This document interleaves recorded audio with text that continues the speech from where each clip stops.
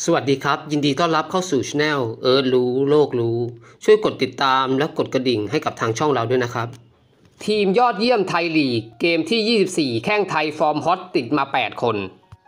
ฟุตบอลไทยลีก แมตช์ที่ 24 ผ่านพ้นไปแล้วเรียบร้อย แล้วสัปดาห์นี้แข้งไทยทำผลงานได้ยอดเยี่ยม ติดทีมมากสุดถึง 8 คน แต่ละตำแหน่งมีใครบ้างมาติดตามไปพร้อม ๆ กันได้เลยครับ ผู้รักษาประตูได้แก่ประวัติคำไหมของสโมสรสมุทรปราการซิตี้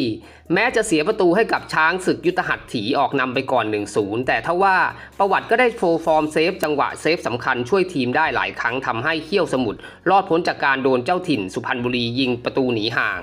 ก่อนที่สมุทรปราการซิตี้จะโชว์ลูกฮึดพลิกกลับมาเอาชนะได้สำเร็จ 2-1 กองหลังได้แก่ลีแจซุง สโมสรราชบุรีมิตรผล FC ปราการหลังชาวเกาหลีใต้ ช่วยป้องกันแนวรับ ราชันมังกรได้อย่างยอดเยี่ยม มีจังหวะบล็อกลูกยิงของผู้เล่นระยองได้หลายลูก ก่อนที่สุดท้ายจะพาราชบุรีมิตรผล FC เก็บ clean sheet และเอาชนะระยอง FC ไป 3 ต่อ 0ในตำแหน่งกองหลังอีกคนหนึ่งได้แก่ไอแซคคอนนี่ของโปลิศเทโร FC เซนเตอร์ตัวเก่งชาวกาหน้าของทีมมังกรโล่เงิน คุมเกมไว้ได้อย่างเหนียวแน่น คอยดักและสกัดบอลจังหวะสำคัญได้หมดทำเอาแนวรุก SCG เมืองทองหาโอกาสเข้าทำประตูได้ยาก ก่อนที่จบเกมเป็นทางโปลิศเทโร FC บุกเฉือนกิเลนผยองไป 2-1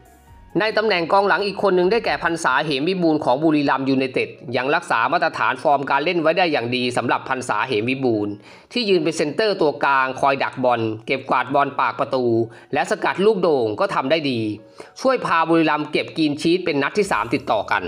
ในตำแหน่งวิงแบ็กฝั่งขวา ได้แก่สันติภาพจันทร์หง่อมของ BG ปทุมยูไนเต็ดเป็นอีกเกมหนึ่งที่เจ้าเก้ง สันติภาพจันทร์หง่อมโชว์ผลงานต่อหน้าแฟนบอลได้อย่างยอดเยี่ยม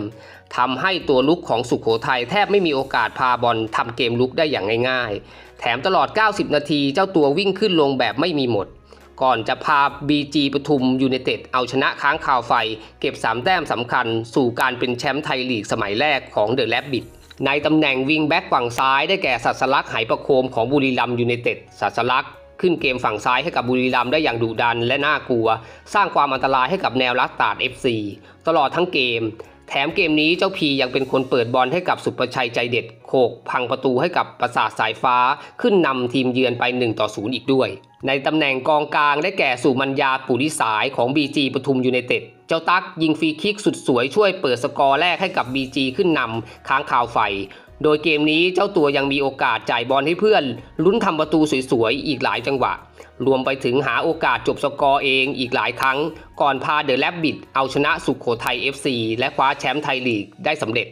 ในตำแหน่งกองกลางตัวรุกได้แก่กีดี้คานยุคของนครราชสีมามาสด้า FC การเข้ามาของคานยุคช่วยยกระดับ และเป็นหัวใจสำคัญในเกมรุกของสวาทแคทแบบที่ใครก็ปฏิเสธไม่ได้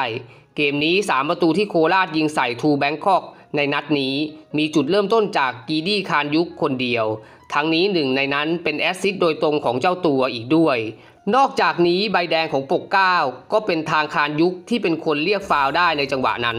ในตำแหน่งกองหน้าได้แก่สตีเว่นลองจิวของราชบุรีมิตรผล FC เกมนี้ลองจิวยังทำผลงานได้อย่างโดดเด่นมากๆนอกเหนือจากความเร็ว นัดนี้เจ้าตัวยังช่วยทีมราชบุรียิงหนึ่งลูกพร้อมกับแอคซิสอีกหนึ่ง ช่วยให้ราชันมังกรบุกชนะระยอง FC ไป 3 ต่อ 0 ในตำแหน่งกองหน้าอีกคนหนึ่งได้แก่ ชิดชนกชัยแสนสุรินของนครราชสีมามาสด้า FC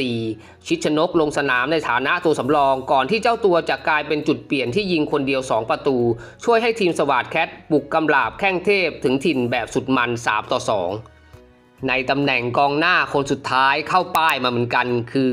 ธีรเทพวิโนไทยของโปลิศเทโร FC ลีซอในวัย 36 ปีอาศัยความเก๋าและสภาพร่างกายที่ยอดเยี่ยมบู๊กับแข้งหนุ่มของทัพกิเลนผยอง ได้อย่างสนุกสุดมัน ก่อนที่ธีรเทพจะเรียกจุดโทษ พร้อมซัดประตูพาโปลิศเทโรบุกชนะ SCG เมืองทองถึงถิ่น 2 ต่อ 1 ขอขอบคุณข้อมูลข่าวจากสยามสปอร์ต